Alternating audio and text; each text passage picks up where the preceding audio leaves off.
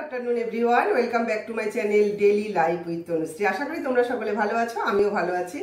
আজ হলো স্পেশাল দিন, প্রত্যেকের জন্য আমাদের শুভ নববর্ষ। প্রত্যেককে শুভ নববর্ষের অনেক অনেক শুভেচ্ছা জানাচ্ছি। বড় হলে আমার প্রণাম, আর ছোটদের জন্য রইল অনেক অনেক ভালোবাসা, আর আমার সমবয়সী যারা, তাদের জন্য রইল অনেক ভালোবাসা। তো চলো তাহলে আজকের ভিডিওটা মানে এখন থেকেই স্টার্ট করছি। সকাল থেকে করতে ইচ্ছে হয়নি। তার কারণ হয়েছে প্রচণ্ড গরম। ভোরবেলা উঠে, ধরো আজকেও পয়লা বৈশাখ, তো ভোরবেলা উঠে আমরা যেরকম স্নান করে আমি রান্না বসিয়েছি। সাড়ে পাঁচটা পনেরো ছটায় আমার স্নান হয়ে গেছে। মানে তখন মানে প্রচুর চাপ ছিল সকাল থেকে। ওই জন্য আর তারপরে বলি না এই সাড়ে দশটা, এগারোটা বাজে আমি একদম এনার্জি লস হয়ে যায় আমার। তো ওই টাইমটা আমি আর কিছু বানাতে পারি না। মানে ভিডিও বানানোর ইচ্ছে থাকে না। তো আমি রান্না টান্না করে নিয়ে ভাবলাম যে আজকে রান্নাটাও তোমাদের সাথে শেয়ার করব না। সেরকম ভাবে কিছু রান্না করার নেই গো আজকে। কি বলতো? উম, শুধু মাছের ঝোল করেছি। আর সকালে আমি টক ডাল করেছি হাজবেন্ডের জন্য। আর সকালে আমি ঢেঁড়স আর মিষ্টি কুমড়ো দিয়ে একটা তরকারি করেছি। সেটা দিয়ে আমরা ব্রেকফাস্ট করেছি রুটি। আর হাজবেন্ডকেও সেটাই দিয়ে দিয়েছি। আর এখন করেছি একটু মাছের ঝোল। সজনে ডাটা আলু কাঁচকলা দিয়ে মাছের ঝোল করেছি। আর পাঁচন। নিশ্চয়ই তোমরা পাচনের ভিডিওটা দেখেছ। পাচনটা আছে তারা জানোই পাচনের গুরুত্ব কতটা।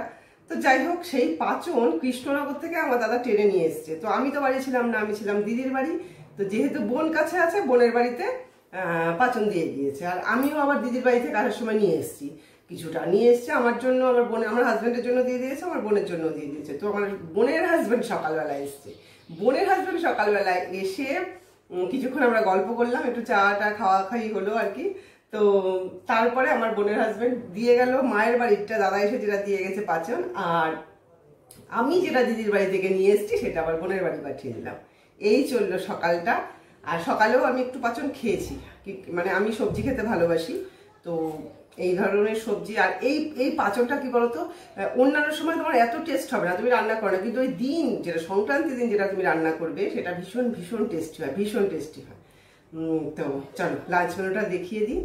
আর আজকাল চিকেন ফিকেন স্পেশালভাবে কিছু আমাদের হয় না, পয়লা বৈশাখ বলো, পুজো বলো, সেইভাবে আমরা কিন্তু স্পেশালভাবে কিছু এনজয় করি না। তার কারণ হয়েছে আমার হাজব্যান্ডের এই জব তো হাজবেন্ড ঠিকঠাক আমাদেরকে সময় দিতে পারে না। এই যে পয়লা বৈশাখ, আজকে অনেকেই দেখো বাড়ি ছুটিতে আছো ছুটি আছে অনেকেরই। অনেকের হাজব্যান্ড নিয়ে তোমরা খুব মজা করছ।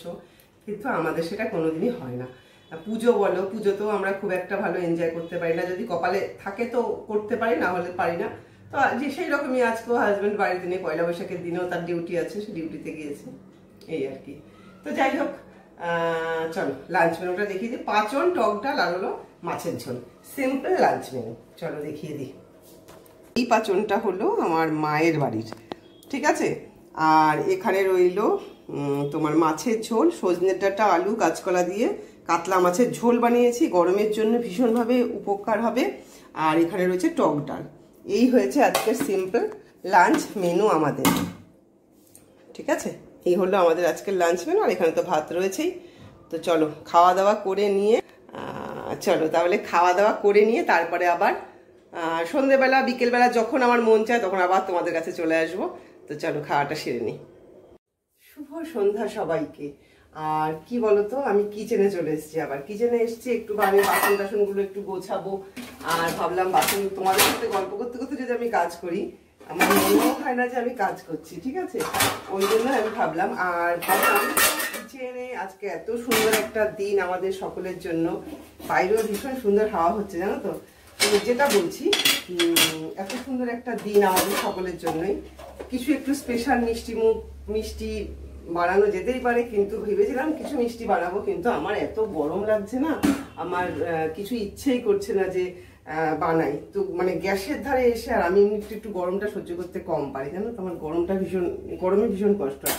তবুও একদম কিছু বানাবো না, তো ভাবলাম যে না, হালকা পাতলা কিছু একটু বানাই। তো আমি সমস্ত কিছু গুছিয়ে নিয়ে চলে এসেছি, তোমাদের দেখাচ্ছি। আমি আগে বাসনটা গুছিয়ে নিই, তারপর তোমাদের দেখাচ্ছি। বাসন সমস্ত কিছু গুছিয়ে নিয়েছি। নিয়ে এবার ভাবলাম যে কিছু একটু বানাই। তো কিছু একটু মিষ্টি মুখ তো আজকে ভালোই লাগবে। তো ভাবলাম যে তাহলে কি বানাবো? কর্নেন্স মিল্ক বানাই। কেননা এই রেসিপিটা তোমাদের সাথে শেয়ার করা হয়নি। তো ভাবছি তাহলে একটু তোমাদের সাথে শেয়ারই করি। তো কর্নেন্স মিল্ক বানানোর জন্য আমি পাঁচশো মানে হাফ লিটার দুধ নিয়ে নিয়েছি। এখানে রয়েছে গরুর দুধ, আমরা গরুর দুধটা ইউজ করি। এখানে পাওয়া যায় ঠিকঠাক, ওই জন্যই। আর তোমার বানাতে বানাতে আমি দেখাচ্ছি আর কি কি ইনগ্রিডিয়েন্টস লাগছে। আমি দুধটা ছেঁকে আগে বসিয়ে দিই।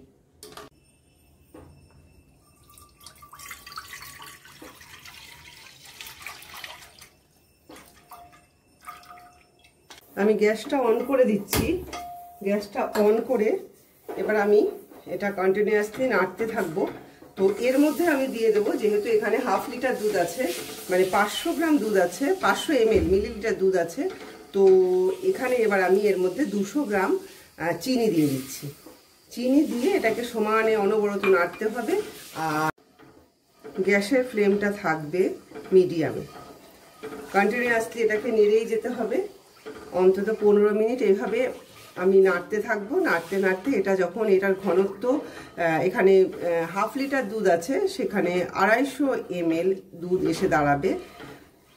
ততক্ষণ এটাকে নেড়ে যেতে হবে। অনবরত এটাকে নাড়তে হবে। অনেকটা কালার, কতটা বুঝতে পারছ? কালারটা অনেকটা চেঞ্জ হয়ে এসছে। পনেরো মিনিট পনেরো মিনিট কন্টিনিউ এভাবে আমি জাল দিয়েছি। নেড়েছি অনবরত। এবার আমি এর মধ্যে দিয়ে দেব অল্প একটু, খুব সামান্য বেকিং সোডা। বেকিং সোডা দিয়েও আমি এটাকে কন্টিনিউ নাড়তে থাকব। আরও মোটামুটি আমি মিনিট পাঁচ সাতেক এটা হতে দেব। বেকিং সোডাটা দেওয়ার পরে আমি আরও পাঁচ মিনিট এইভাবে নাড়তে থাকলাম। কালারটা ভীষণ সুন্দর এসছে। আমি এরপরে এটাকে ঠান্ডা হতে দেব। ঠান্ডা হওয়ার পরে আমি একটা এয়ারটাইট কন্টেনারে ঠান্ডা করে আমি ফ্রিজে রাখব। তোমাদের আমি দেখাচ্ছি, এখন ঘনত্বটা এই রকম আছে।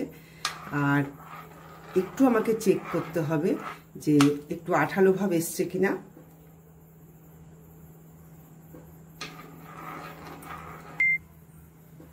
ব্যাস, এইবার আমি গ্যাসটা বন্ধ করে দেব। গ্যাস বন্ধ করে এক ঘণ্টা আমি ঠান্ডা হতে দেব। ঠান্ডা হওয়ার পর আমি তোমাদের দেখাচ্ছি।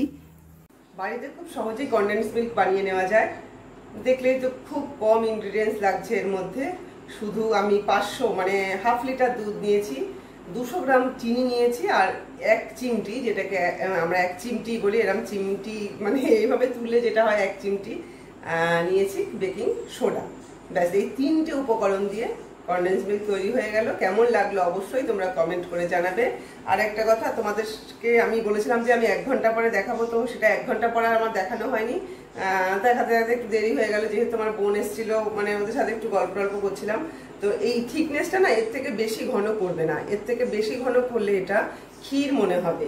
কন্ডেন্স মিল্ক আর ক্ষীর, এ দুটোর মধ্যে তো অবশ্যই পার্থক্য অনেকটাই আছে।